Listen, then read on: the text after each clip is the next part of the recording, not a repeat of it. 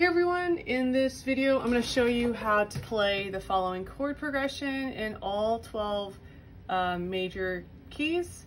So we're going to go from the one chord to the flat major 7 chord to the major 4 chord to the minor uh, 2 minor 7 chord to the 1 chord. So I'm going to play through all 12 keys and then I will explain how to go about this. So I'm starting off with uh, first inversion in the right hand, and left hand just playing the root note of each chord.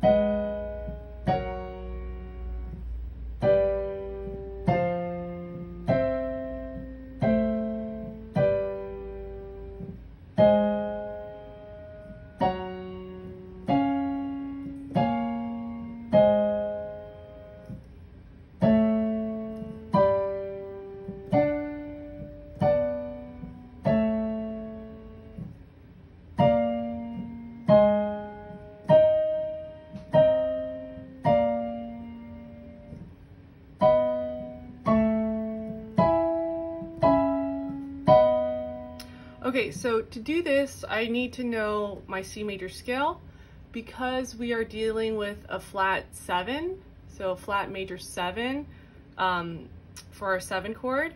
Um, our scale is going to be basically C mixolydian.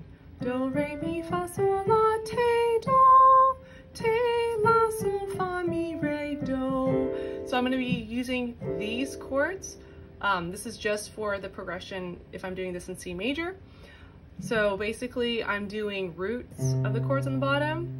So I'm going from the one chord to the flat seven, which is B flat in our case, right? One, two, three, four, five, six, seven. And it's a major seven chord, so it's gonna be B flat major.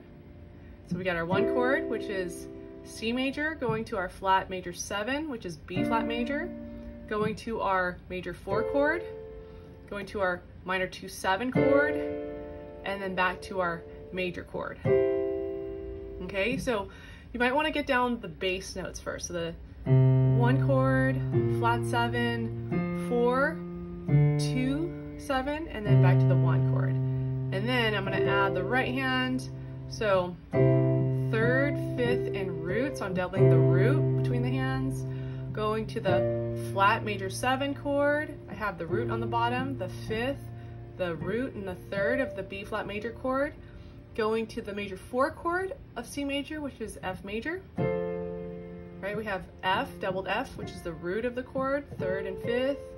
Going to the two minor seven, which is a D minor seven chord. So I get the root, third, fifth, and seventh, one of each of the notes in the chord going to the one chord. And if you look, you'll see I'm trying to use common tones as much as possible or contrary motion um, whenever I can. So going from the one to the seven chord, because those chords are right next to each other, there's going to be no common tones.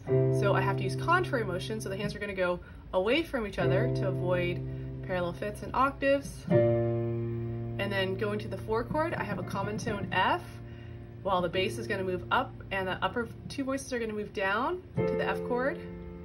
Now going from the 4 chord to the minor 2-7 chord, everything in the right hand is going to stay the same. The only thing that's changing is the bass is moving down to D. So now I get the root 3rd, 5th, and 7th of my 2 chord. And then going to the back to the 1 chord, the only common tone that we have is the 7th becomes the root of the 1 chord.